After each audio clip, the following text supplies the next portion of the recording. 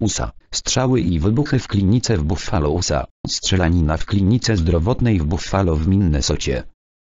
67-letni mężczyzna niezadowolony z opieki, jaką otrzymał w klinice w niewielkiej miejscowości Buffalo, w stanie Minnesota, otworzył we wtorek ogień raniąc pięć osób. Jedna z nich zmarła później w szpitalu. Mężczyznę aresztowała policja. Jak poinformował szeryf hrabstwa w Richtse pirotechnicy sprawdzają podejrzane pakunki znalezione na terenie kliniki oraz w motelu, w którym napastnik się zatrzymał. Personel i pacjentów w kliniki ewakuowano. Napastnik został zidentyfikowany jako Gregory Polulerich.